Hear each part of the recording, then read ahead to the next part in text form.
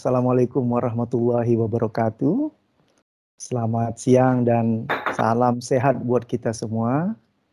Saya Jumtani eh, dari Kalimantan Barat bersama Mas Data Kusuma dari Kalimantan Timur. Kita akan menyampaikan apa yang dilakukan oleh Forkline berkenaan dengan perubahan iklim dalam diskursus global. Pada sesi ini, kita akan menyampaikan bagaimana tata kelola hutan dan lahan yang diimplementasikan melalui uh, eh, RIDD Plus, baik di Kalimantan Barat dan di Kalimantan Timur.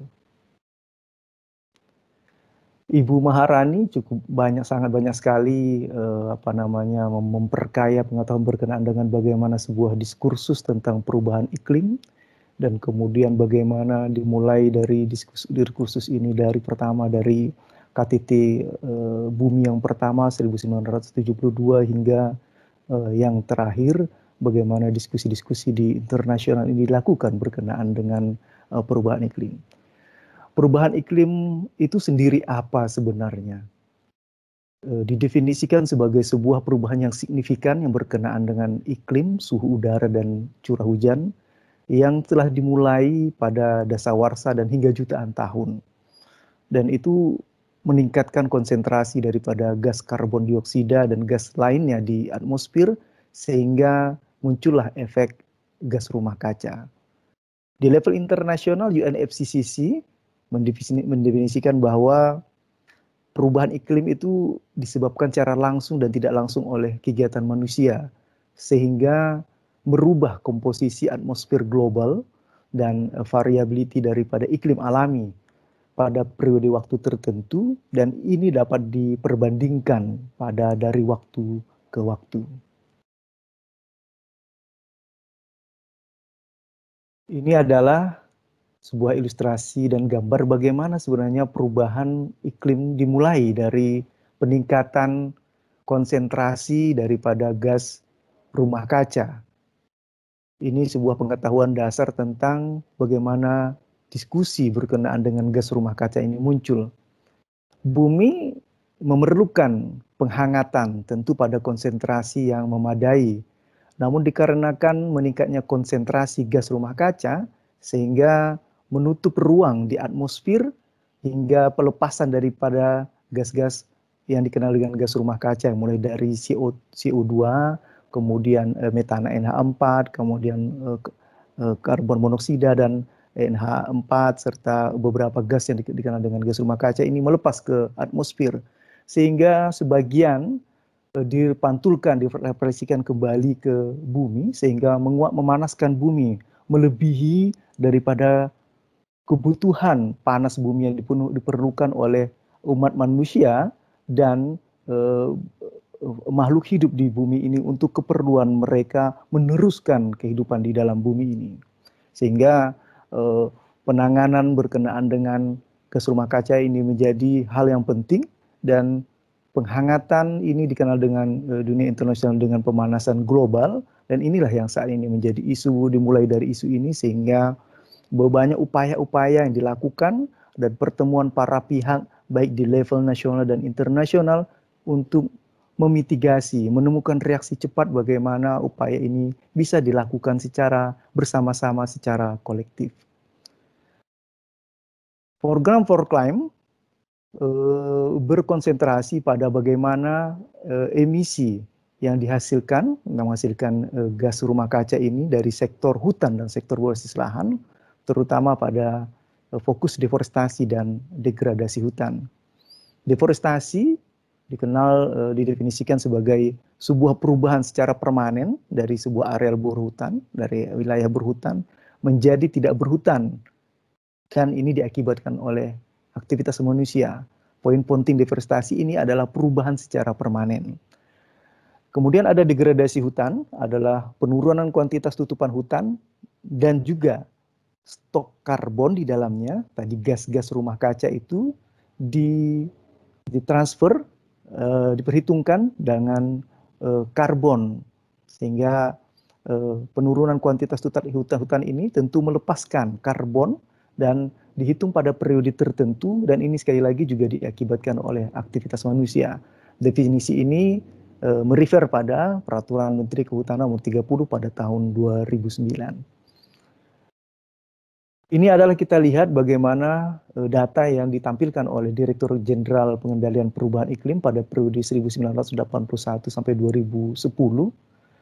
Perubahan-perubahan suhu e, yang diukur e, ada pada level yang ekstrim, baik ekstrim tinggi dan juga ekstrim yang sangat rendah, sehingga melebihi dari nilai-nilai normal atau nilai rata-rata suhu pada periode 91 dan 2010 tersebut. Tentu saja perubahan suhu secara ekstrim dan e, baik tinggi dan rendah itu akan mempengaruhi tata kehidupan daripada makhluk hidup yang ada di bumi kita.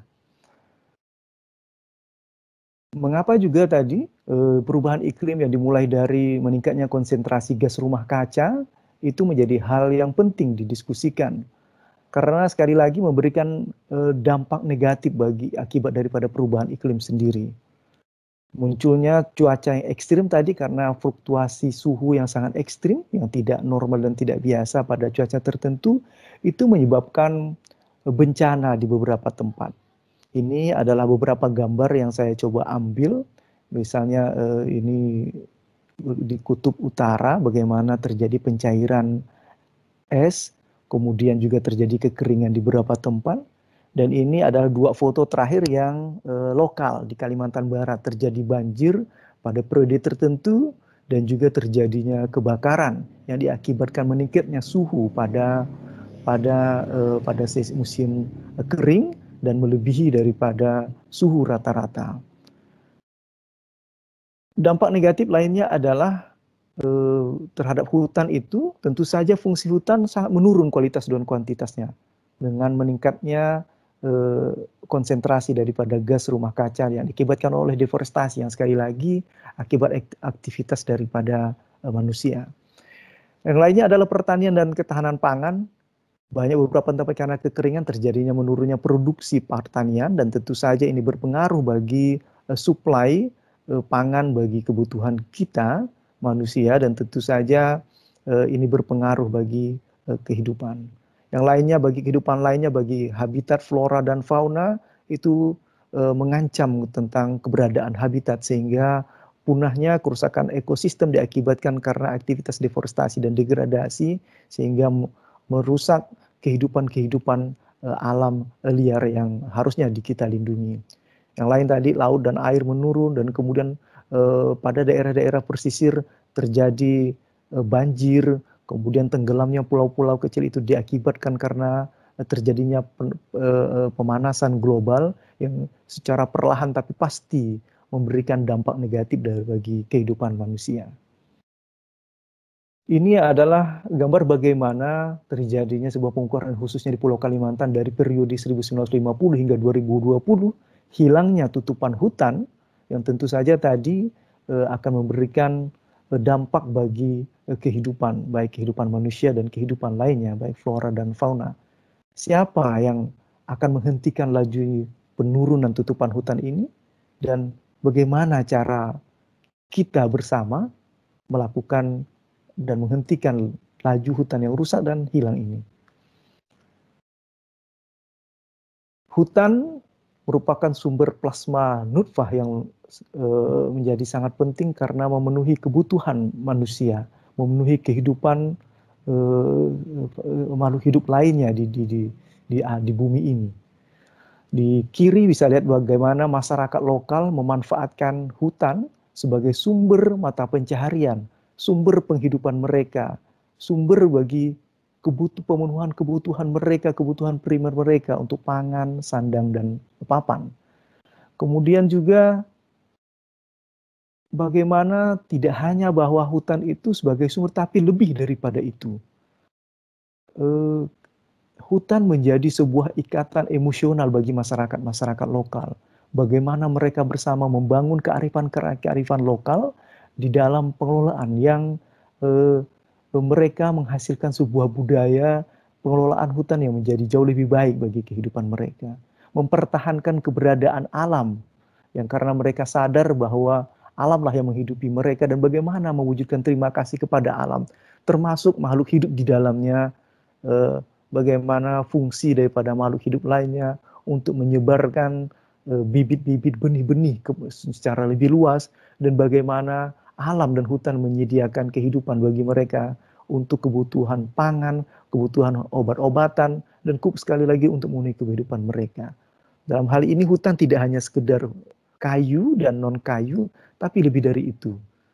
Hutan menjadi fungsi bagi perlindungan bagi keanekaragaman hayati, penyediaan jasa lingkungan dan juga eh, bagi eh, kebersamaan bagi masyarakat, hubungan kohesi sosial yang sangat kuat di interaksi di antara satu masyarakat dan masyarakat lainnya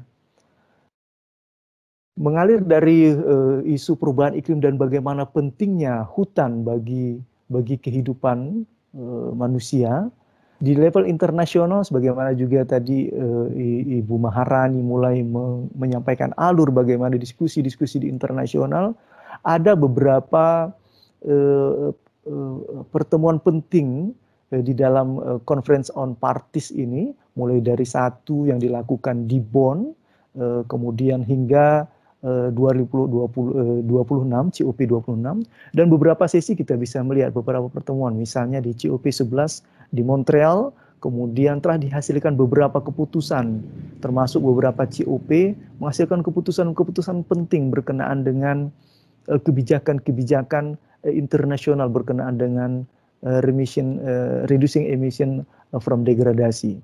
Ini terutama di dunia internasional ketika uh, di Bali Action di uh, COP uh, COP 13 uh, pada tahun 2007 di mana mulai diperkenankan uh, RED uh, RED uh, reducing emission from degradation eh, deforestation itu terutama pada negara developing negara berkembang. Bagaimana negara berkembang bisa melakukan kolaborasi dan bekerja sama di dalam dunia internasional dan upaya-upaya ini Eh, mendapatkan dukungan dan memberikan insentif kepada negara-negara berkembang dalam upaya-upaya mereka untuk berkontribusi eh, di dalam eh, penurunan suhu global.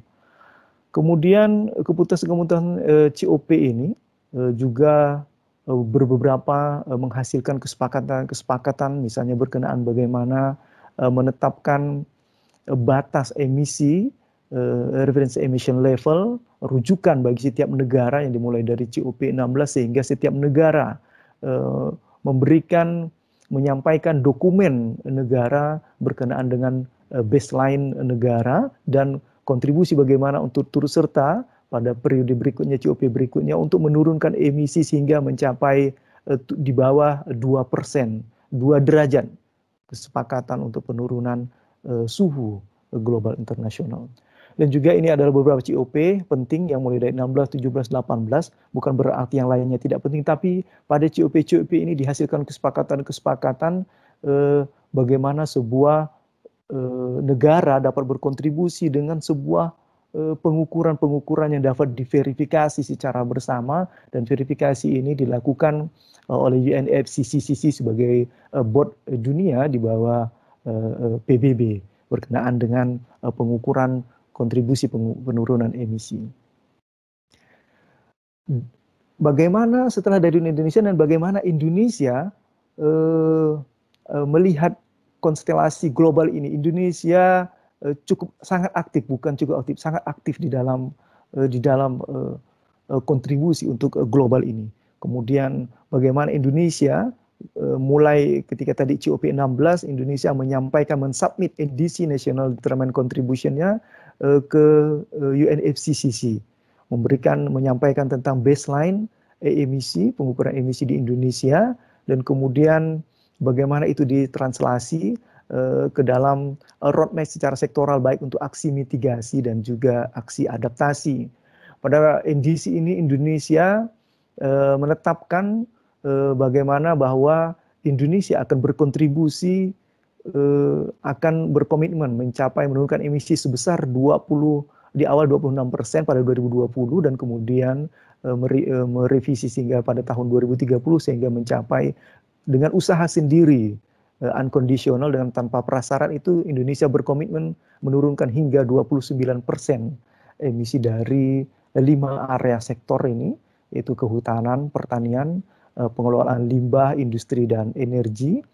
Kemudian pada 2030 Indonesia uh, berkomitmen menurunkan emisi sebesar 29% dari bisnis as usual, unconditional dengan tanpa prasyarat dan jika Indonesia dapat dukungan dengan 41 persen internasional maka Indonesia menyampaikan bahwa akan mampu mencapai hingga 41 persen.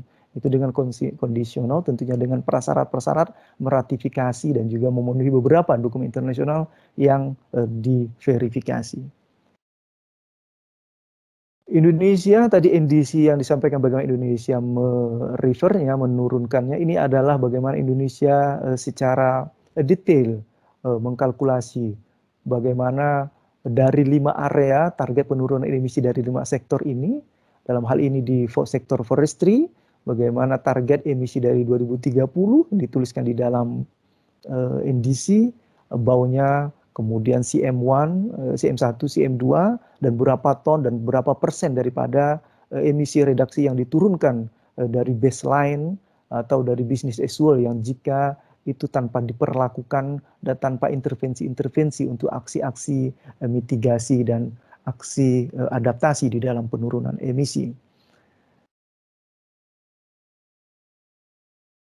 Di dalam NDC juga untuk uh, mengimplementasikan di dalam negara Indonesia, pemerintah Indonesia melalui Kementerian Lingkungan Hidup dan Kehutanan menyusun regulasi-regulasi kebijakan. Bagaimana tahapan yang dimulai dari eh, persiapan dengan readiness, kemudian masa transisi, dan kemudian masa full implementation, implementasi itu eh, pemerintah Indonesia mempersiapkan regulasi-regulasi sebagai bukti bahwa bagaimana cara pemerintah Indonesia mencapai eh, target eh, national determined kontribusi untuk pencapaian target kontribusi penurunan emisi sebesar 29%, maka pemerintah melalui KLHK tadi menyusun regulasi-regulasi bagaimana cara melakukannya, siapa pihak yang terlibat, di mana itu akan dilakukan, sehingga uh, upaya yang dilakukan itu sekali lagi dapat diukur dengan jelas, dapat diverifikasi, dilaporkan dengan jelas, dan kemudian dapat diverifikasi, sehingga tadi framework internasional untuk ah, setelah ada baseline kemudian bagaimana MRV-nya untuk measuring, kemudian reporting dan verification itu bisa dilakukan. Dan kemudian bagaimana itu sistem itu eh, dilakukan dengan cara aman. Ada eh, sistem informasi safeguard. Bagaimana sistem informasi pelaporan-pelaporan aksi, pelaporan aksi-aksi yang mitigasi dan adaptasi yang dilakukan itu tercatat. Dan aksi-aksi yang dilakukan oleh masing-masing daerah dalam hal ini eh, subnasional maupun provinsi itu menjadi agregasi reporting untuk di level nasional. Dan itu adalah eh, bagaimana upaya pemerintah Indonesia dalam mewujudkan komitmennya untuk eh, menurunkan emisi. Dan eh, beberapa provinsi eh, provinsi maksud saya itu merefer kepada ini karena ini sebagai pedoman dan guidelines bagaimana uh, perangkat RIDD itu diimplementasikan.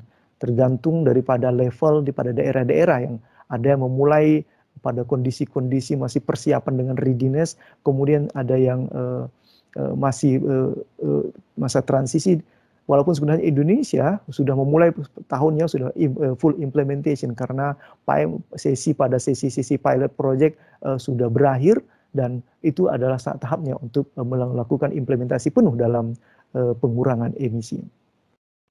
Selain daripada perangkat-perangkat berkenaan bagaimana tata cara, bagaimana pengamanan, bagaimana sebuah pelaporan, bagaimana sebuah verifikasi itu dilakukan, Indonesia mulai dari 2017 juga uh, mengeluarkan peraturan berkenaan bagaimana semua upaya-upaya berkenaan dengan aksi Eh, perubahan iklim ini dimasukkan di dalam peraturan pemerintah nomor 46 tentang instrumen lingkungan hidup, ekonomi lingkungan hidup di mana karbon di dalamnya menjadi salah satu yang dibahas disampaikan di dalam ini.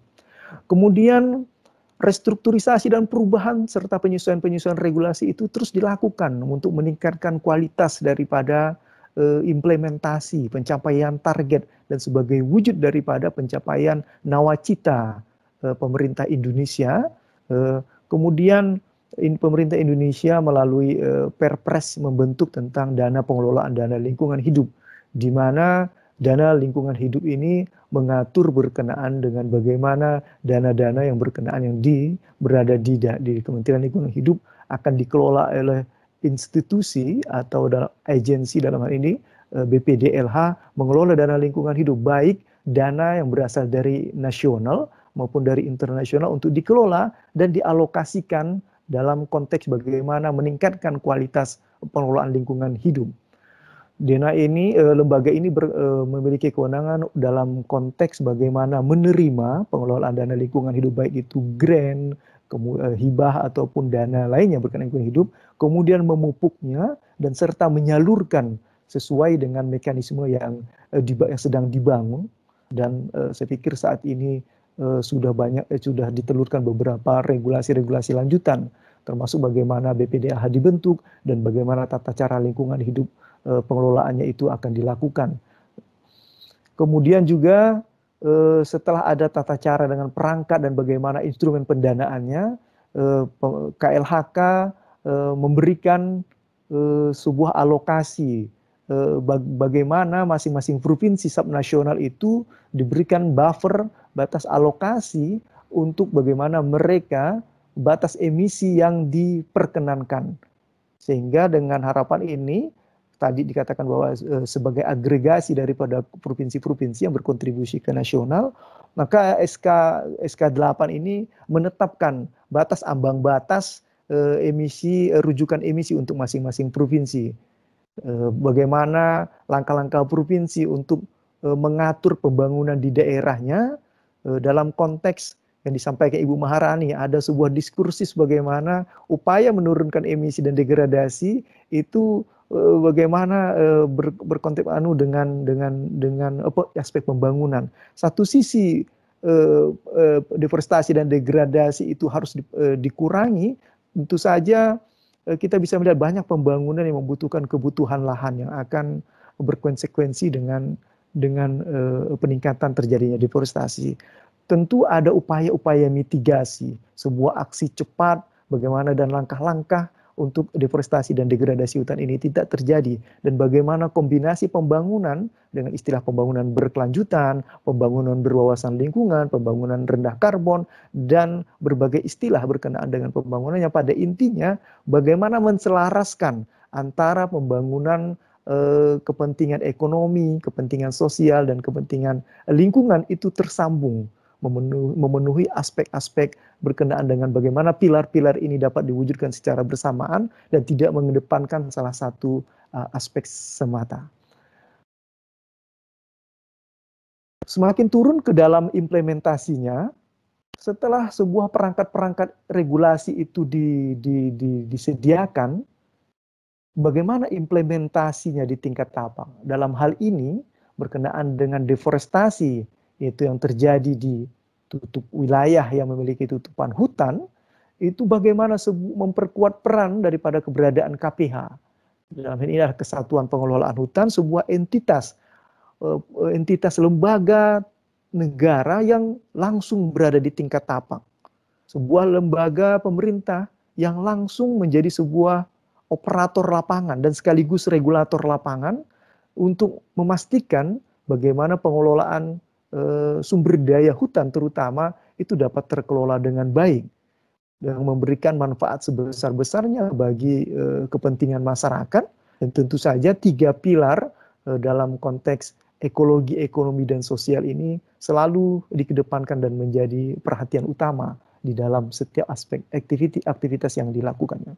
Bagaimana KPH ini memiliki peran signifikan di dalam kontribusi dalam pembangunan Eh, pengelolaan sumber daya hutan di Indonesia. KPH ini mendapat mandat bagaimana mengelola sumber daya alam secara berkelanjutan, termasuk melakukan konservasi daerah aliran sungai secara terpadu, menyediakan jasa lingkungan.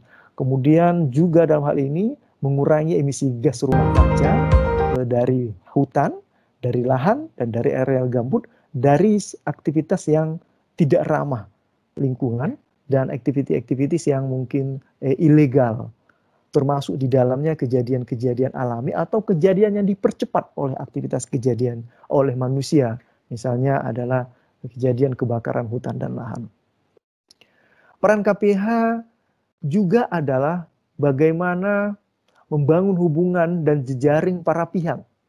Karena tugas mengelola sumber daya tidak hanya menjadi mandat dari pemerintah, menjadi inklusif, melibatkan para pihak dalam hal ini masyarakat, baik masyarakat secara individu, kelompok, dan masyarakat di dalam kelembagaannya, eh, misalnya eh, dalam eh, lembaga swadaya masyarakat, kemudian private sector yang juga memberikan kontribusi di dalam pembangunan-pembangunan dan juga berkontribusi di dalam terjadinya proses deforestasi dan degradasi dan itu disinergikan bagaimana upaya-upaya dan langkah bersama itu dapat dilakukan secara baik kemitraan uh, dengan masyarakat misalnya melalui upaya pemberdayaan melalui pengelola hutan bersama masyarakat dengan program perhutanan sosial baik itu hutan desa, hutan kemasyarakatan, hutan adat, hutan tanaman rakyat maupun lewat kemitraan konservasi.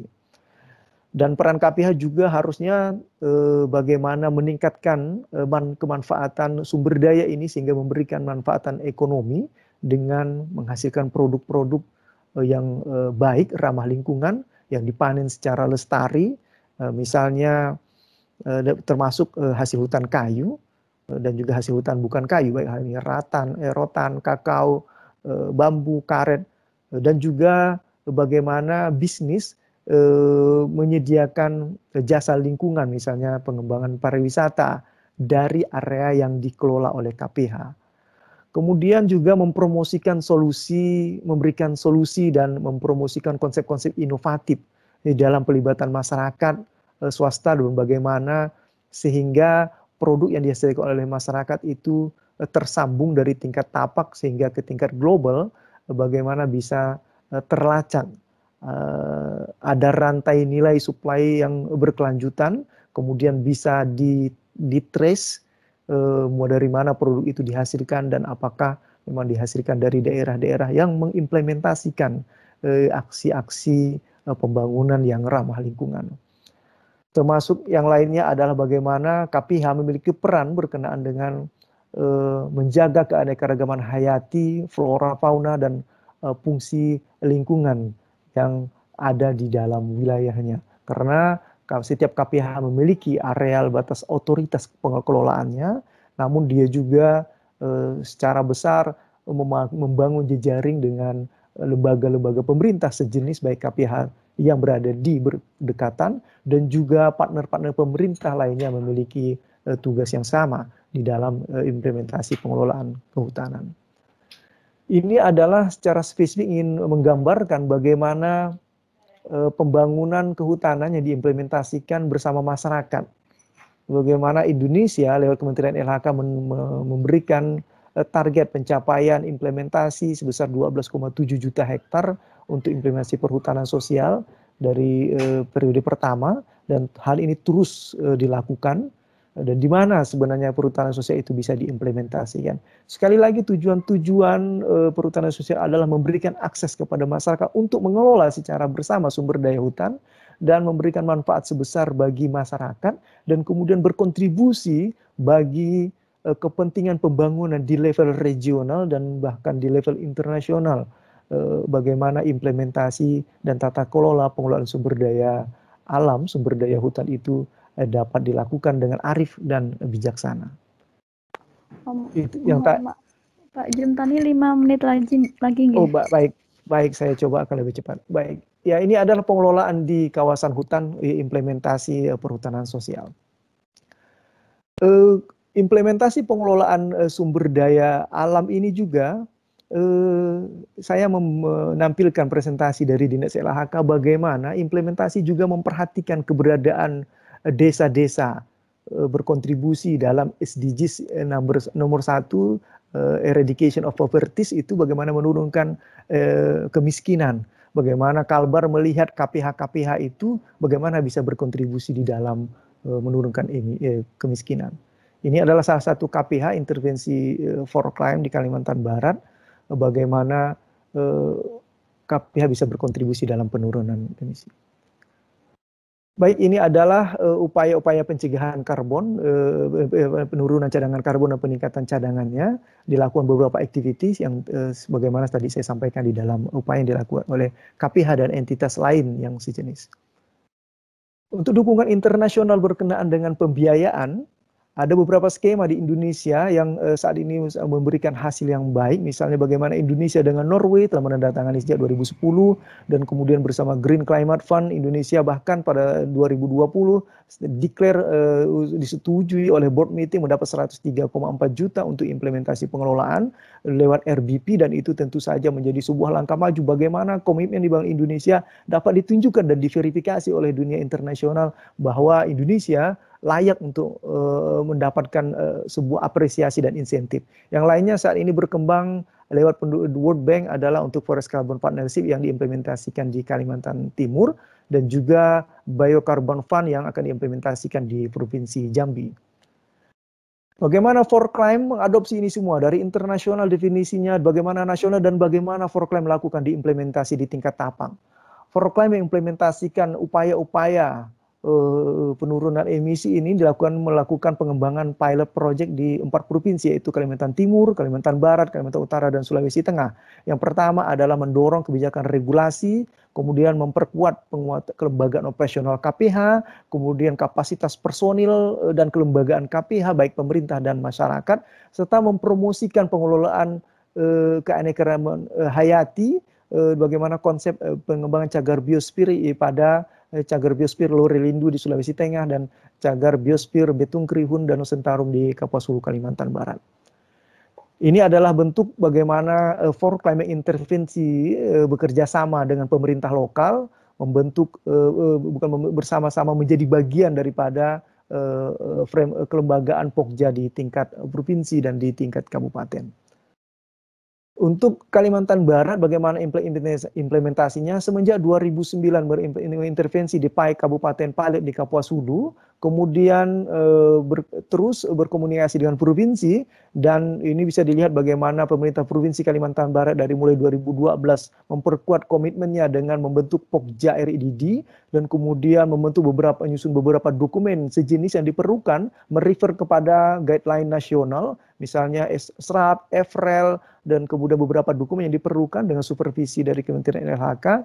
Kemudian Kalbar menetapkan 60% eh, akan menurunkan target dari emisi daripada eh, bau EFREL yang sudah disusun dengan histori 1990 eh, sampai 2012. Dan kemudian setelah apa yang sudah dilakukan itu pada 2019 Kalbar menyusun proposal untuk pembiayaan perubahan iklim kepada Green Climate Fund Eh, dan ZIZ sebagai accredited entities eh, dalam hal ini dan proyek konsep ini eh, pada tahapan PCN lolos seleksi untuk Indonesia di NDA Indonesia yang dalam ini adalah Badan Kebijakan Fiskal sebagai NDA GCF Indonesia dan kemudian pada Desember 20 proposal ini sudah disubmit ke GCF dan pada saat ini sedang menunggu review berkenaan dengan dari GCF berkenaan dengan proposal yang disampaikan.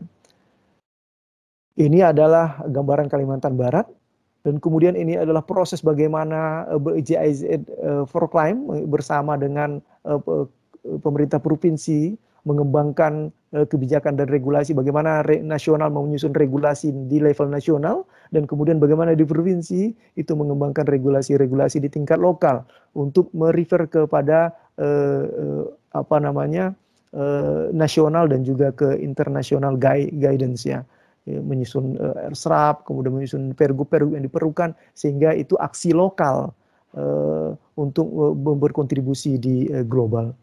Dan ini adalah dokumen-dokumen yang dihasilkan di Kalbar semenjak dari 2012 hingga terakhir 2020 konsep note itu di, di, disampaikan kepada Green Climate Fund. Ini adalah proses, mulai dari proses bagaimana sehingga ini menurut saya bisa berbagi pengalaman.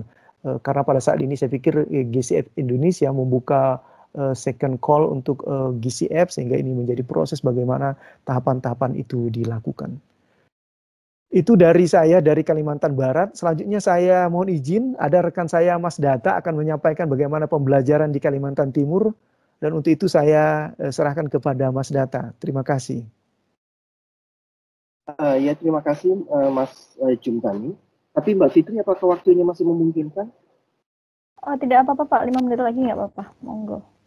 Oke, ya, saya coba akan uh, cepat ya. Ya, uh, saya akan cerita sedikit tentang Kalimantan Timur. Jadi di Kalimantan Timur ini ada salah satu provinsi yang uh, menjadi uh, pilot uh, project untuk implementasi pengurangan emisi di Indonesia. Uh, kebetulan ini uh, provinsi yang sudah uh, berhasil mendemonstrasikan berhasil mendemonstrasikan dalam artian sudah ada kesepakatan dan sudah ada agreement terkait dengan uh, pembiayaan atau uh, pembayaran uh, pengurangan emisi di skala uh, provinsi. Mungkin untuk next uh, next slide-nya mohon bantuan Mas.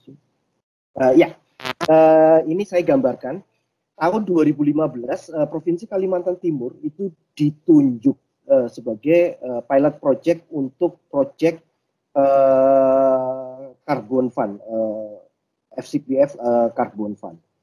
Kita bisa bayangkan 2015 kita mengusulkan uh, project idea note dari project idea, idea note diusulkan kemudian diminta untuk menyusun uh, proposal uh, proposal pengurangan emisi di skala uh, provinsi dari 2015 2019 proposal sudah di-approve, sudah disetujui oleh uh, Bank Dunia.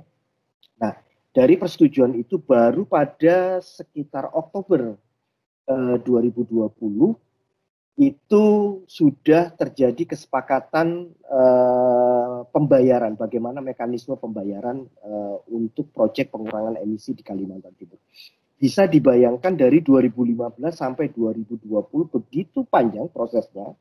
Hal ini uh, penyebabnya apa? Ini ini yang mungkin tadi disempat disinggung oleh Bu Bu Maharani ataupun Mas Jumpani ada proses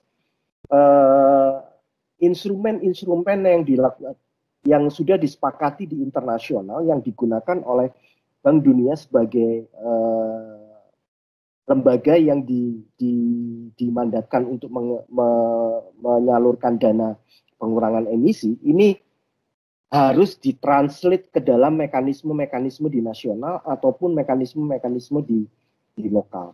Jadi proses bagaimana uh, uh, translate ataupun mengadaptasi mekanisme-mekanisme internasional ini ini yang membutuhkan waktu lama karena uh, uh, situasi dan kondisi baik itu politik, uh, sosial, ekonomi, budaya yang ada di Indonesia dan dan internasional.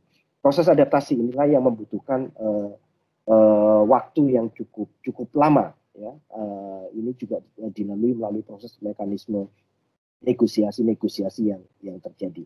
Saya ingin mengilustrasikan sedikit ter terkait bagaimana uh, proses translate dari dari uh, uh, kondisi lokal ke dalam uh, dalam skema-skema uh, internasional itu dilakukan.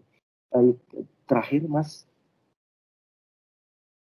boleh yang next. Nah, ini ini adalah beberapa kelompok kegiatan yang nantinya akan dilakukan oleh pemerintah Kalimantan Timur dalam pengurangan emisi di skala jurisdiksi uh, provinsi. Jadi kita berusaha untuk melakukan mentranslate Eh, kebijakan-kebijakan internasional terkait dengan pengurangan emisi ke dalam kebijakan-kebijakan uh, di, uh, di tingkat uh, provinsi, uh, bagaimana kita melakukan pengukuran karbon, bagaimana kita uh, menerapkan safeguard itu ke dalam kebijakan-kebijakan uh, lokal. Dan translate itu juga dilakukan dalam konteks uh, program saya akan memberikan satu contoh ilustrasi bagaimana kita meng, uh, mengimplement, merencanakan sebuah uh, program. Contoh mungkin ini teman-teman yang banyak banyak dengar di di Indonesia yaitu bagaimana kita me, me, menda, meng, mitigasi praktek-praktek kalau teman-teman di, di di Indonesia itu banyak mengenalnya adalah uh, praktek perladangan berpindah di Kalimantan Timur. Nah, sebenarnya kalau di Kalimantan Timur sendiri itu kita kita lebih dikenal adalah perlada, perladangan gilir balik di mana setiap mereka melakukan perpindahan dari satu uh, ladang ke ladang yang lainnya itu uh, melakukan pembakaran uh, ladang. Nah, dalam program pengurangan emisi ini men, ini menjadi salah satu fokus intervensi supaya bagaimana mereka dalam menerapkan perladangan gilir balik ini mereka tetap bisa melakukan perladangan gilir balik tetapi bisa rendah emisi. Artinya mereka tidak melakukan pembakaran. Tetapi juga mereka bisa meningkatkan ekonomi atau pendapatan lebih baik dibandingkan praktek uh, gilir balik yang dulu. Jadi praktek yang sekarang ini kita kita dorong di dalam uh, masyarakat itu ketika mereka melakukan uh, perladangan itu menggunakan sistem tumpang sari di mana ketika mereka menanam padi, mereka juga kita uh, minta untuk menanam fast growing, tanaman kayu fast growing uh, bersamaan dengan penanaman padi. Mereka akan pindah ke lahan berikutnya juga melakukan hal yang sama dengan sistem uh, uh, tumpang sari. Nah, ketika mereka sudah sampai di ladang yang ke saat keempat atau kelima, mereka akan kembali lagi ke ladang yang pertama. Mereka sudah akan menemukan ladangnya itu dengan tanaman fast growing yang bisa mereka jual.